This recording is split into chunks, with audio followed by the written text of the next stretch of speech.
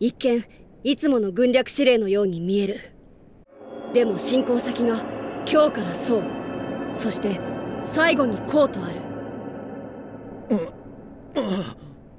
初めは気づかなかったけどそうからこうへ行くのは軍略的におかしいんだ。まるで二流の手。じゃあなんでかと考えるとこうは義の前身真の旧王都だ。旧王都秦国で言うなら陽。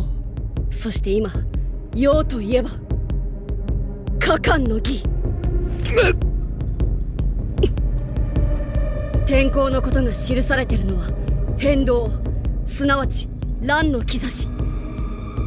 つまり果敢の義を狙った反乱が起こるってことだ。